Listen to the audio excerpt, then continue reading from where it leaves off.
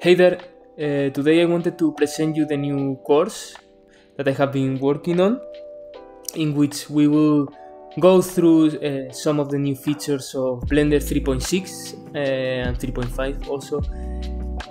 In particular, the new simulation nodes. We will learn how to send attributes to the simulation, how to export them to the shader editor. We'll learn how to cast the simulation so later we can render it with confidence that it's not going to be lost at a certain point during the rendering. We will learn how to optimize the solver and how to organize it and how to play with noises and with random values to generate more chaos and more and more variance.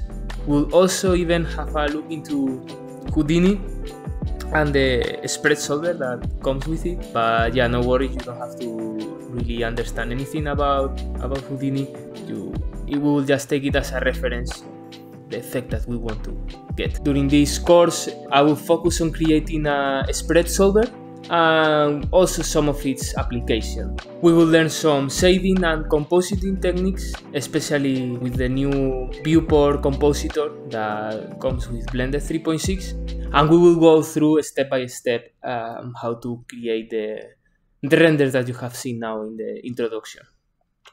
This is an intermediate level course so if you don't have any experience with uh, geometry nodes, it's better if you check out some tutorials first and then you come back here. But we will also pay attention to like some simple stuff, so uh, we you don't need to really know a lot to, to understand it. If you just want to explore the files and you don't want to follow the whole tutorial, you can get the files on the Blender Market or in my Gumroad. I hope that you enjoy this course, that you learn from it, and that you can apply to some cool projects. Please feel free to share them. Uh, I would love to have a look. And yeah, thank you very much. Uh, see you.